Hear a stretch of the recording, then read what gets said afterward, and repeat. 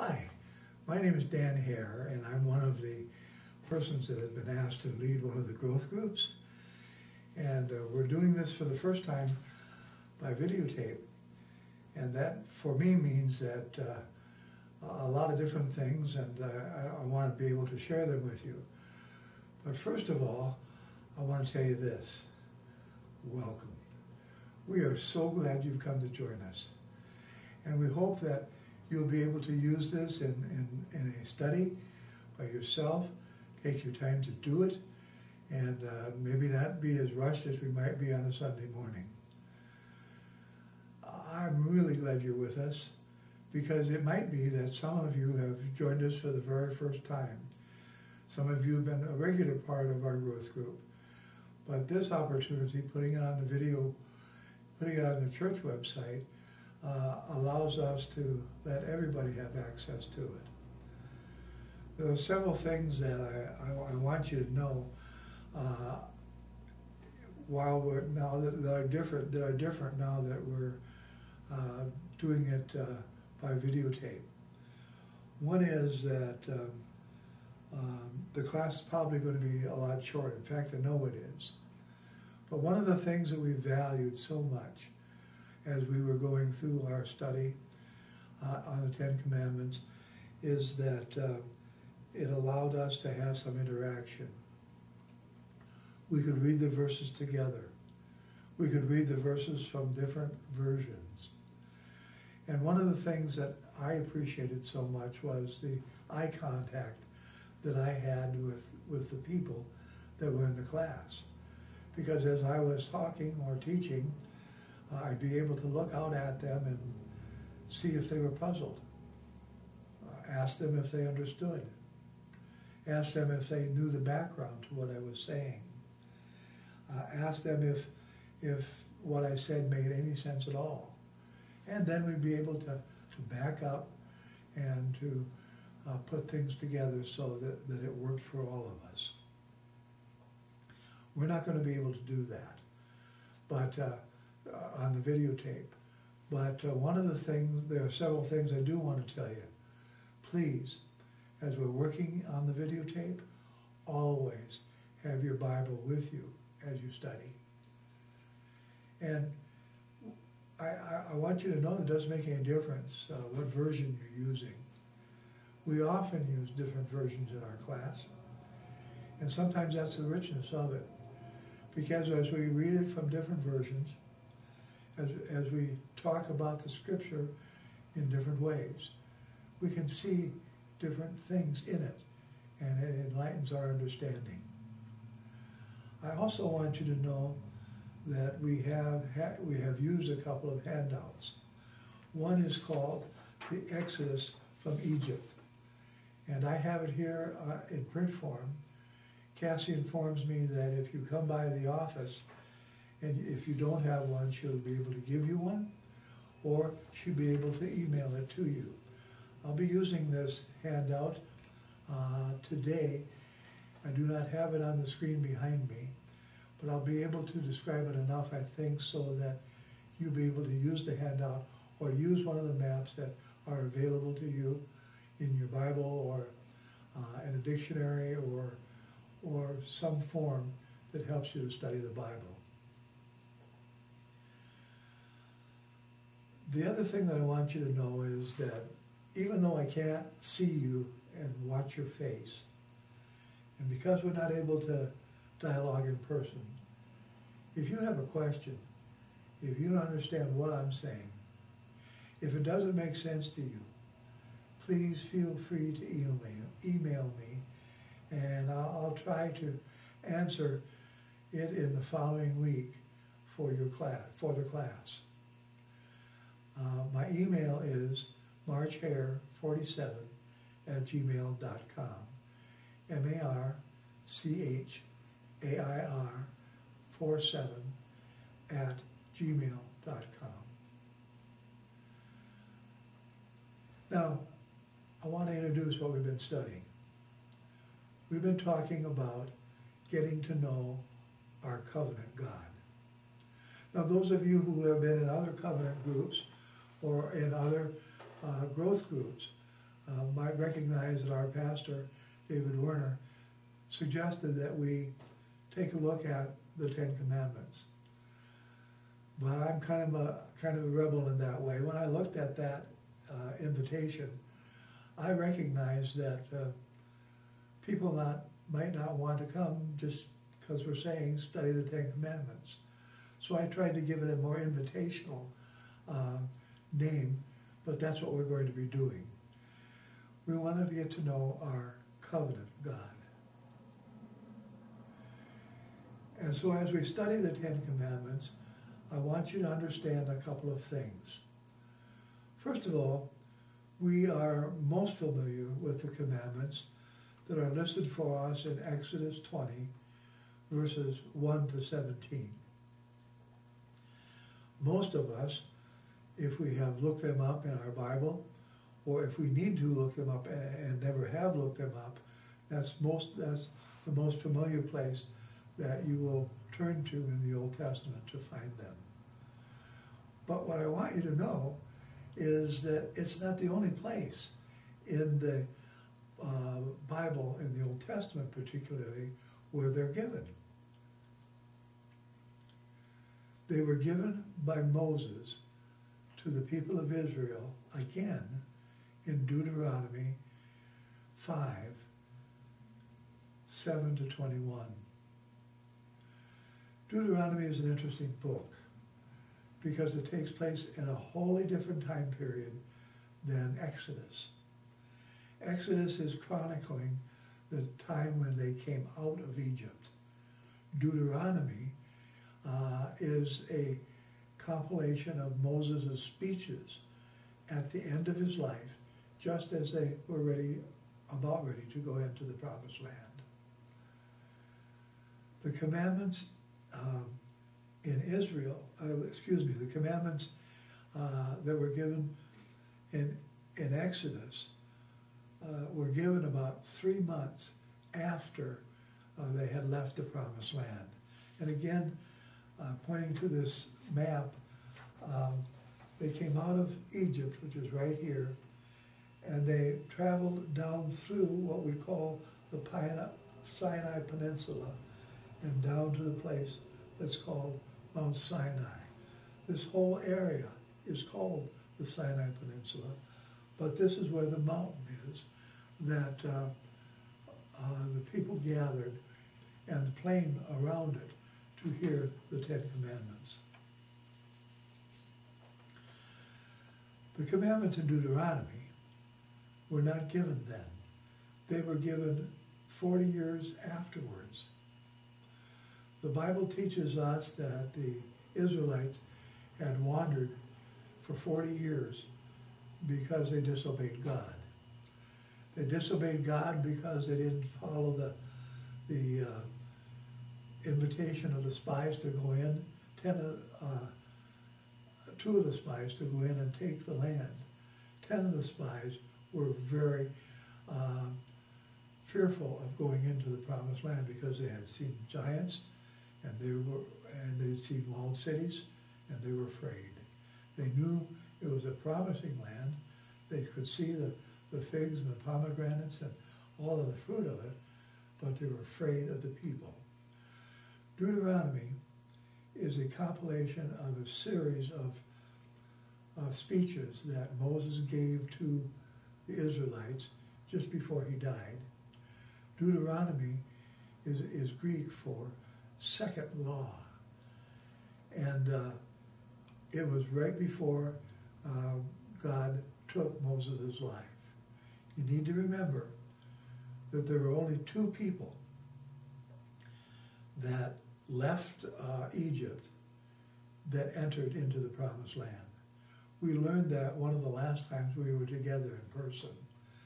And we wrestled with that a little bit because we learned that Moses wasn't even one of them.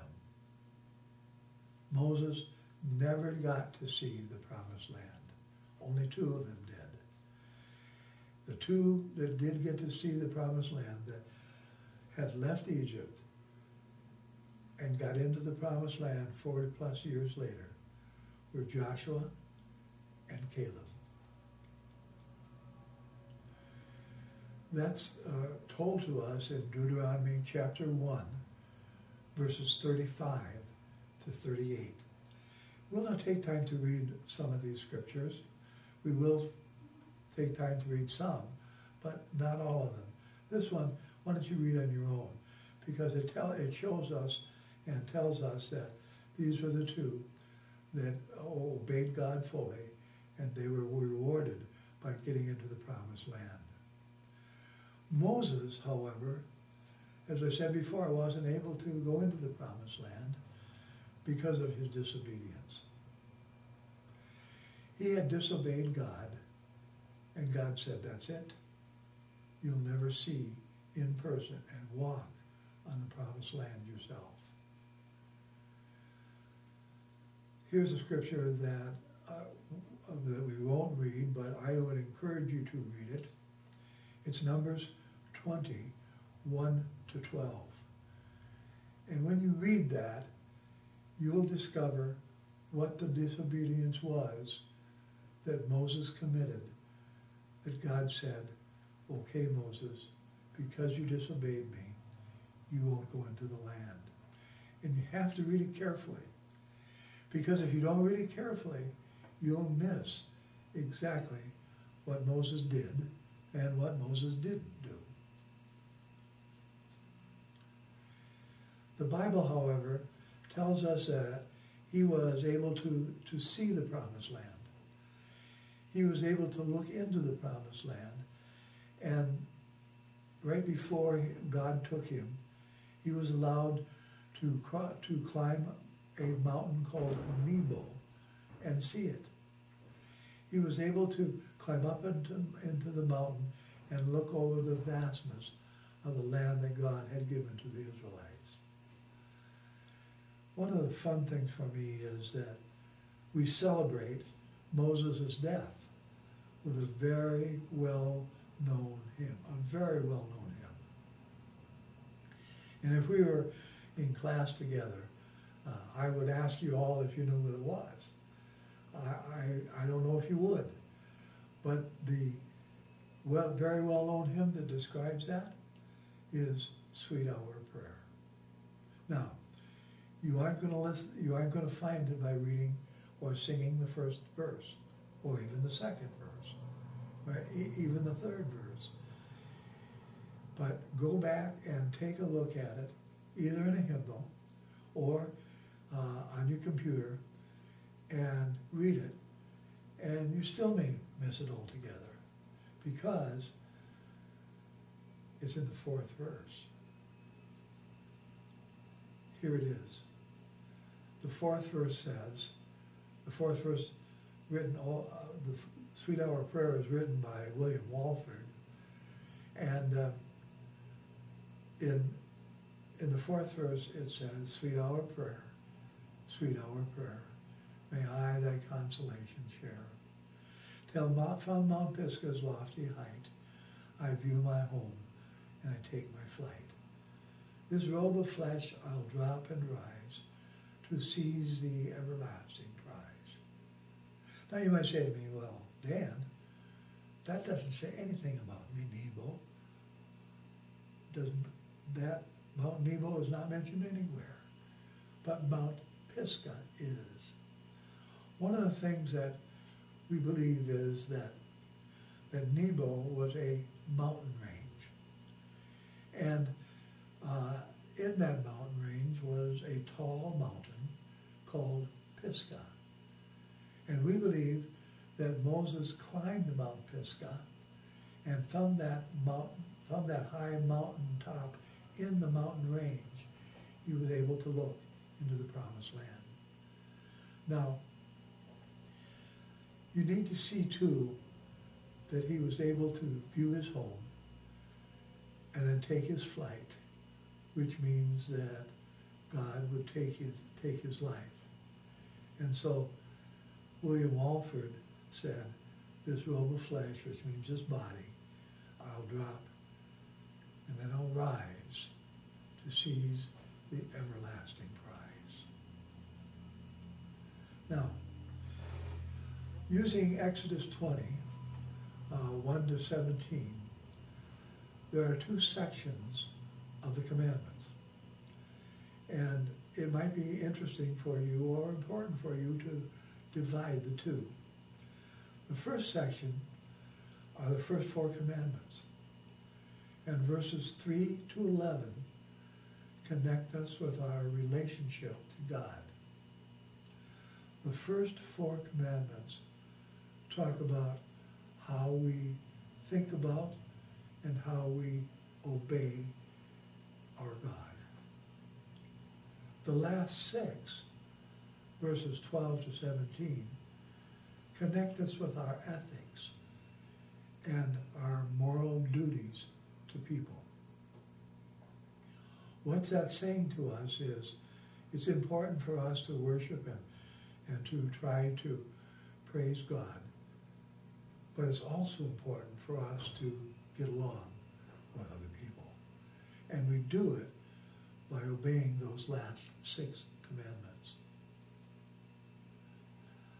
The first four relate to our love to God. The last six relate to our love to our neighbor. Now this is one of the scripture verses what, that we are going to look up. Take your Bibles and take a look at Matthew. We're going to turn to the New Testament to Matthew chapter 22. Toward the end of the chapter, he was, Jesus was asked about a scholar, by a scholar of the law, what, what are the most important commandments there in the whole law? And Jesus said to them a very important thing. He said, love the Lord your God with all your heart, soul, and mind. This is the first. This is the most and most important commandment. The second is like unto it. It, it, and it is love others as much as you love yourself. All of the law of Moses and the books of the prophets are based on these two commandments. Basically, what Jesus was saying was, if you love the Lord your God with all your heart, soul, and mind, those are the first four commandments. But the second portion is what we just described. The last six of the Ten Commandments is to love others as much as you love yourself.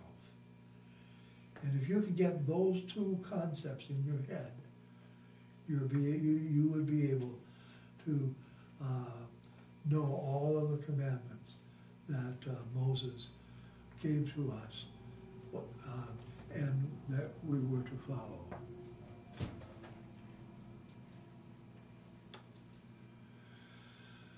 Want to talk to you first about the uh, first commandment. We've set some background to all of this, but now let's really dig into the commandments themselves. If you take a look at verse 3, it says to us, do not worship any God except me. If you're using another version, it might say to you, um, thou shalt have no other gods before me. If you're using even more modern versions, it might uh, say just a bit differently. But that's the first commandment. It's in verse 3. I need to tell you that uh, Jehovah God had to say this to the Israelites because the Israelites were coming out of Egypt. See, after they had come out of Egypt, they were so familiar with those gods that they didn't know what else to do. Remember, there were like only 70 people that went into the promised land, that left the promised land and went into Egypt. Uh, there were four, almost two and a half to three million people who came out. God wanted them to know that he was distinct, he was different, and more special than absolutely anything, or for that matter, anyone that they had seen.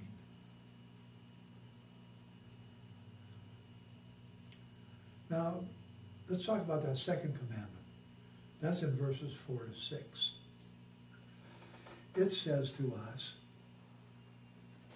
Do not make any idols that look like anything in the sky or the earth or in the ocean under the earth. Don't bow down and worship idols. I am the Lord your God, and I demand all your love.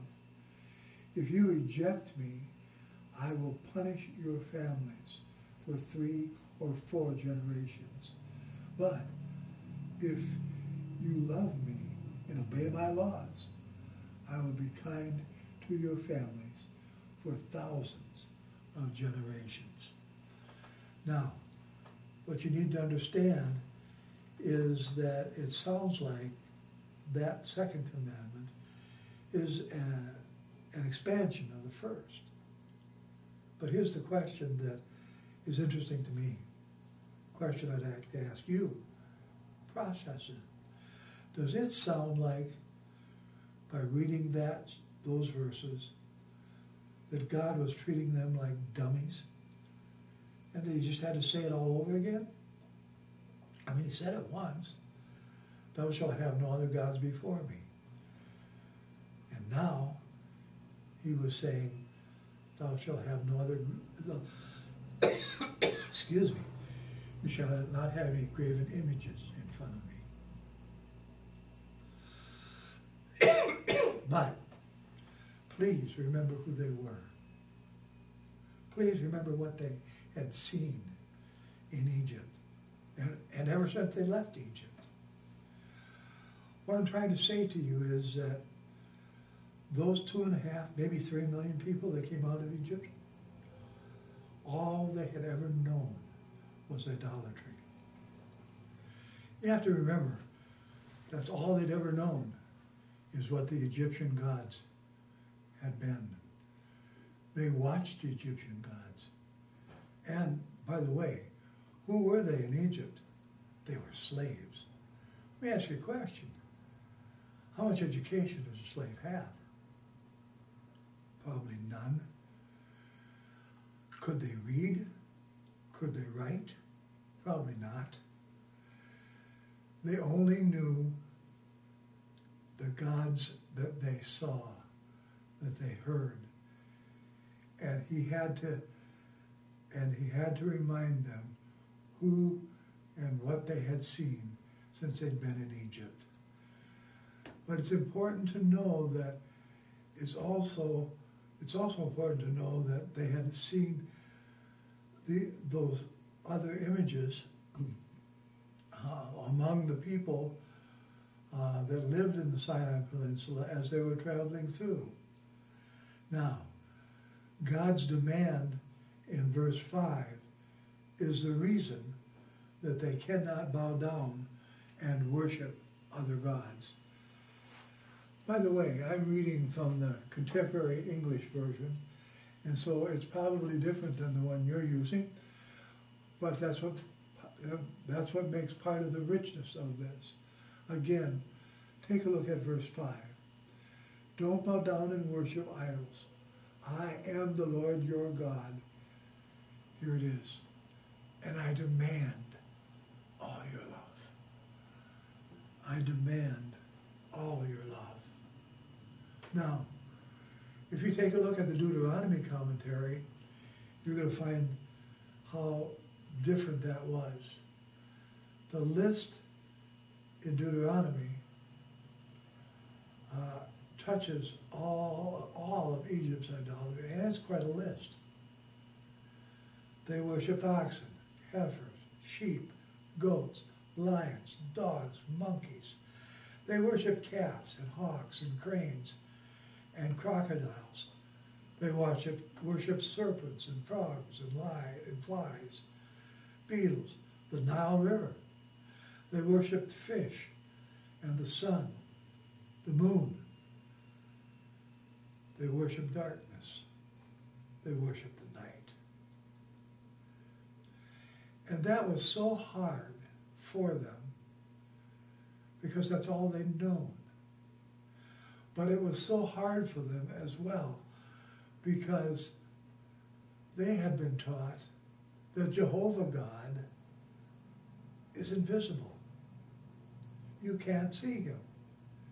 You simply can't. That's why it was so easy for them to use images and animals, anything, something that they could see, just so you could see it and worship it.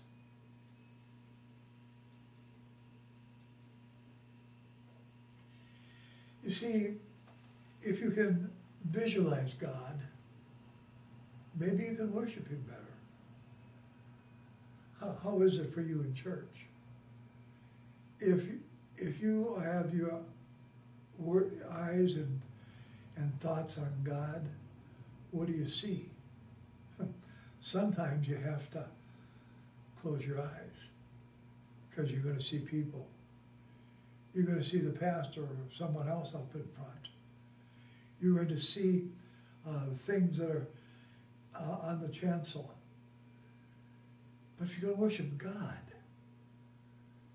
you have to cut all of those things out and just see Him. See, it's so much easier if you can visualize or, or see an image of Him. If you can do that, it's easier to worship Him. What you need to understand and what is so important at this point is that you, God was trying to teach them that you need to worship the creature. And you, you, you need, excuse me, I said that incorrectly. You can't worship the creature. You cannot worship the creature. You have to worship, worship the Creator. What does that mean? Well, I think it means that the creature is everything that God created. Oh yeah, the oxen, the fish, the, the Nile, and all that kind of stuff were might have been creatures, contained creatures for them, but they were things that He made that he made. And God said, no, that's not good enough. Don't worship the creature. Worship me, the creator who made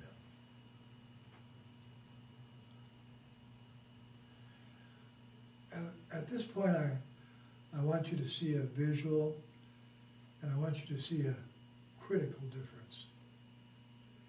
And this is really important it was always wrong, always, to make a, an image from human hands and worship it as God. Always. But in many places in the Bible, uh, the, the writers use a visual image to describe God. No, that's not wrong. Let me give you some examples. David in Psalm 23 described God as a shepherd.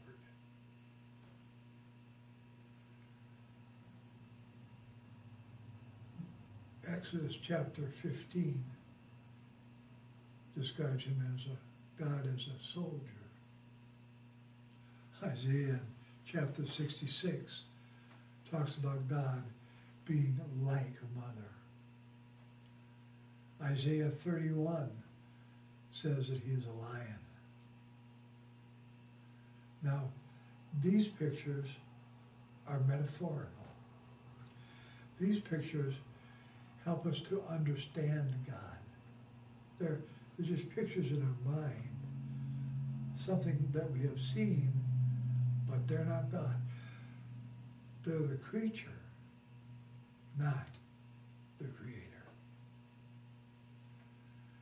But you need to understand when The Bible talks about a shepherd, a soldier, a mother, a lion.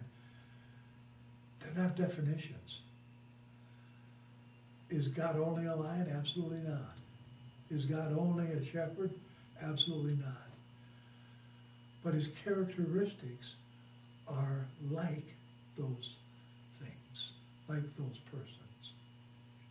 And I think that helps us to get God in our mind. If he's invisible and we can't see him, sometimes all we can do is relate to him things that we can see, not the creature, but the creator. Now, there's a punishment in this verse, in these verses, and there's a promise. The punishment says, if you, and again using the contemporary English version, uh, he says, uh, if you reject me, I will punish your families for three or four generations. That's the punishment.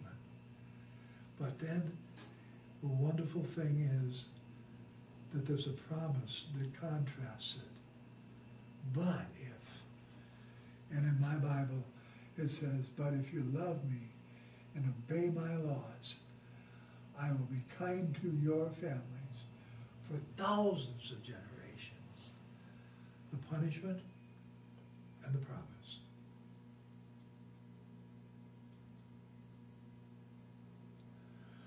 I want for a couple of minutes to apply the commandments to our lives. It's important we do. Never is it just okay to read the Bible for facts. Never is it never is it okay to read the Bible for knowledge. But if we can't apply what we read in our lives, um, we're missing something. So let's try to apply these two commandments, shall we? Let me ask you this question. Is it easy for us to keep the first commandment? Uh, again, in the version that I learned when I was little, thou shalt have no other gods before me. Is that hard for you to keep? And if it is, what makes it hard for you to keep? Probably, most of us would probably say no. That's not hard for us to keep because we know that God is God. Second question Is it any easier for us to keep the second commandment about the graven images? The things that we that were made by hand. Here's where it gets tougher. Do you have any graven images around your home? Huh? Any graven images? Well, you probably say no. I haven't made an, a, graven image lately. I haven't made something out of clay or or stone and just set up and set it up and say, that's my God. But dig deeper, folks. if the graven images aren't in your home, are they in your life?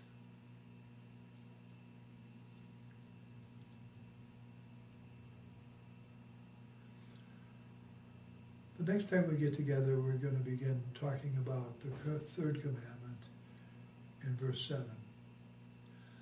I'm so glad that you were able to be with us this morning. Again, the next time we do a video, uh, uh, some videotaping, we're going to be taking, continuing, continuing this look at the Ten Commandments. So we're getting to know our covenant God. By the way, uh, the word covenant is so important. It, it, it means an agreement, an agreement between God and me. And that's really what I want to do during these days that we have together, talk about the agreement that we should have between our God and our lives, in our lives, and in our families too. I'd like to pray with you before we go. Gracious God, you've been so good to us. You're so loving. You're so kind. You're so good.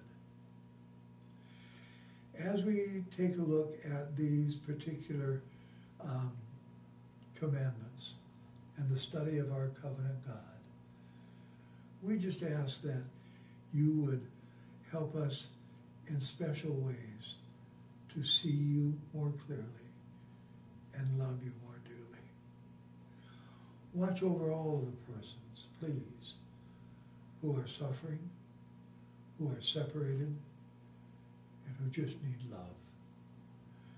May what we are doing on our church website, through the devotionals that Pastor David and others are doing, what we're doing, the videotaping of our growth groups, may they help us to be connected, connected with each other. Because it's so much easier in this walk that we call life to do it if we do it together. Bless us